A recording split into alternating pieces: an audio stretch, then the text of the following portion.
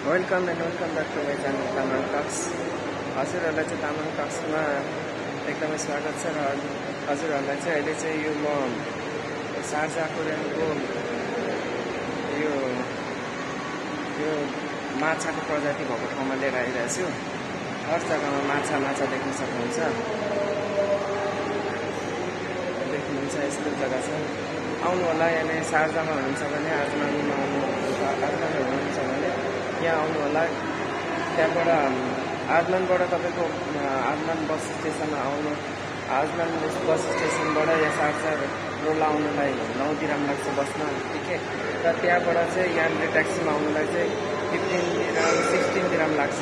Fifteen to sixteen मान्छे सिक्सटिनतिर अब यहाँबाट चाहिँ यहाँबाट कन्टिन्युस अब यहाँबाट कहाँ पुग्दो रहेछ भित्र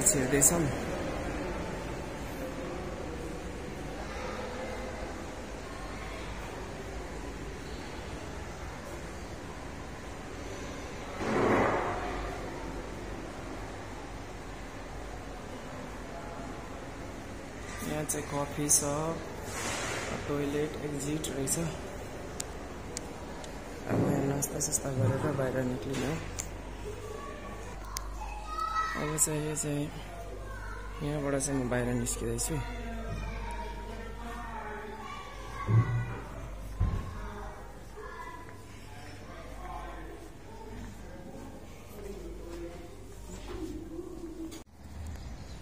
यहाँ हेर्नु सक्नुहुन्छ यहाँनिर पनि यो गार्डन छ र यहाँ गार्डनमा चाहिँ यहाँनिर चाहिँ प्लिज डु नट टच भनेर लेखेको छ यो चाहिँ पुरानो बोट रहेछ। यहाँ चाहिँ नचलाइदिनु होला कसैले पनि किनभने यो चाहिँ सङ् सङ्ग्रहालय हो। यसमा चाहिँ यो मान्छेलाई चाहिँ पहिला युज गरेको यो चाहिँ मेमोरीको लागि राखेको हुनाले यसलाई चाहिँ हामीले खराब गर्नु हुँदैन।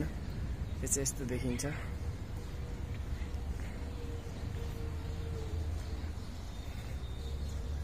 म यहाँबाट आउट हुँदैछु।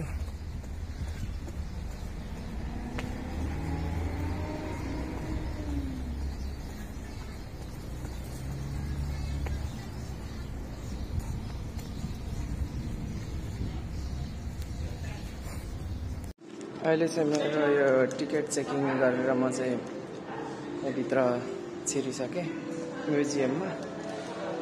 अब हजुरहरूलाई म यो म्युजियममा देखाउँदैछु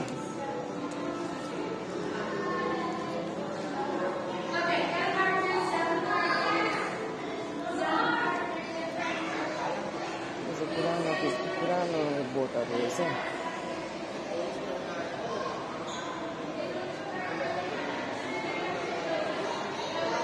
पनि देख्न सक्नुहुन्छ पुरानो जमानाको बोटहरू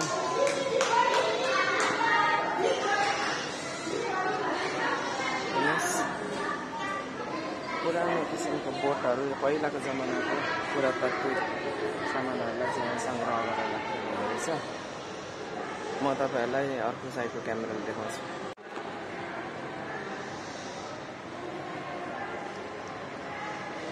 यहाँका गरगहनाहरू। फलफुलहरू सबै सङ्ग्रह गरेर राखिएको रहेछ।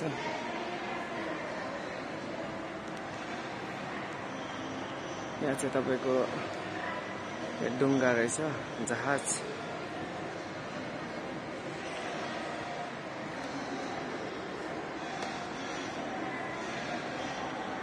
हजुरहरूले मलाई कहाँ कहाँबाट हेरिराख्नु भएछ? मेरो भिडियोको कमेन्ट बक्समा गएर कमेन्ट गर्नुहोला। र हजुरहरू यहाँ आउनु चाहनुहुन्छ भने मैले पहिला पनि भने तपाईँहरू आजमानमा रहनुहुन्छ भने आजमान बस स्टेसनबाट यहाँनिर नौ दिरामको टिकट काटेर यहाँ आउनु सक्नुहुन्छ। र यो मुसा यो जु जुबेल बस पार्कदेखि चाहिँ जुबेल बस स्टेसनबाट चाहिँ ट्याक्सीमा यहाँनिर आकुराममा आउनुलाई चाहिँ फिफ्टिन टु सिक्सटिन दिराम लाग्छ। र हजुरहरू यहाँ आएर चाहिँ यहाँको भिजिट गर्न सक्नुहुन्छ।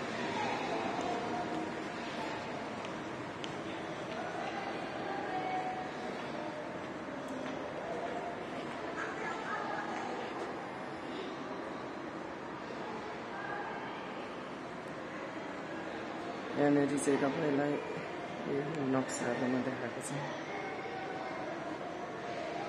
कम्पासहरूको बारेमा देखाएको छ है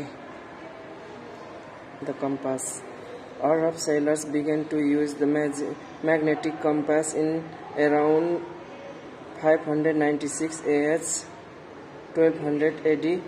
Unlike navigating by the stars, stars, it had the advantage that it could be used in overcast weather. The Arab compass is divided into 32 points in Rome's Akhnan, named after 16 prominent stars according to where they rise and set.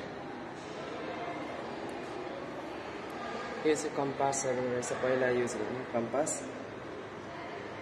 यो चाहिँ जुन अठार सय एडीमा यहाँको चाहिँ यहाँ अरबको चाहिँ फाइभ हन्ड्रेड नाइन्टी सिक्समा चाहिँ यो युज गर्नु थालेको रहेछ यो कम्पास चाहिँ।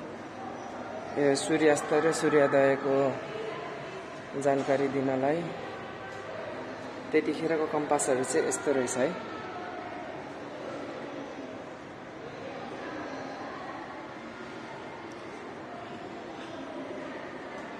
हेर्नु। यो चाहिँ कल्चरल कल्चरल आर्टहरू।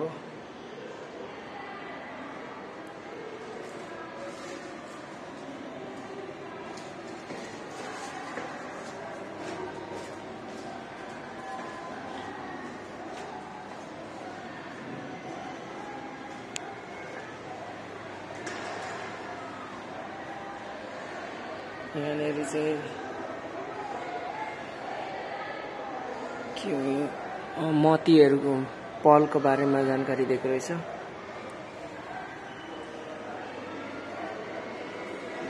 यो चाहिँ तपाईँको यो जलहरीहरूको बारेमा होला हौ यहाँ हेर्नु न। यो चाहिँ एक वर्ष पुरानो life life circle of the life साइक साइकल अफ पल मोतीको बारेमा रहेछ। यस्तरी पहिला यसरी चाहिँ व्यापार गरिँदो रहेछ। देख्न सक्नुहुन्छ। यो चाहिँ यहाँको हाम्रो इमाराती मान्छेहरूले चाहिँ मोतीको व्यापार चाहिँ यसरी गर्दो रहेछ।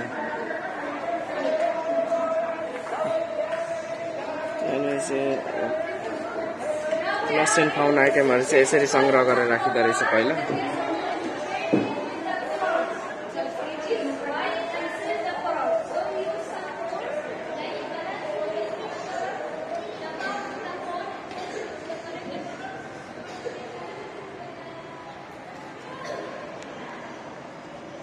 यो चाहिँ हाम्रोमा के भन्छ? खोगीहरू के के भन्छ नि त्यस्तो खोगी पेरुङ्गा के के भन्छ नि त्यस्तोहरू रहेछ नि यहाँ। पनि बनाउँदो रहेछ हेर्नु त। यी खोगी पेरुङ्गाहरू के के के केहरू। यो चाहिँ कुखुराहरू के यो चाहिँ जाल जस्तो छ है। यो जाल जस्तो छ यहाँनिर चाहिँ छिरो चाहिँ बाहिर निस्किनु नसक्ने। एकदमै आकर्षक छ। हजुरहरू पनि यहाँ भिजिट गर्नु होला म पनि यहाँ आएको छु। हजुरहरू पनि आउनु होला र यहाँनिर भिजिट गर्नु होला यो जग्गा यो म्युजियममा। हजुरहरूलाई यो अक्वेरियमको टिकट काटेपछि यहाँनिर पनि फ्री हुँदो रहेछ। यहाँनिर काउन्टरमा चेक इन गराएर तपाईँहरू यहाँनिर फ्रीमा भिजिट गर्न सक्नुहुन्छ। हजुरहरूलाई यो सार्जा म्युजियम र यो सार्जा यो म्युजियम र अक्वेरियममा देखाउन पाएँ।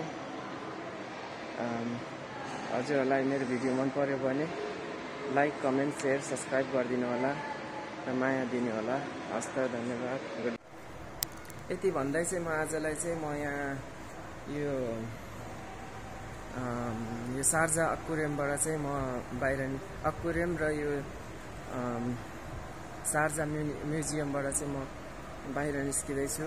हजुरहरूलाई धेरै धेरै स्वागत छ मेरो च्यानलमा र हजुरहरूले मेरो च्या भिडियो हेरिदिनु भएकोमा। हजुरहरूलाई धेरै धेरै धन्यवाद। यति भन्दै हजुरहरूलाई अर्को भिडियोमा भेट्नेछु। तबसम्मलाई गुड बाई।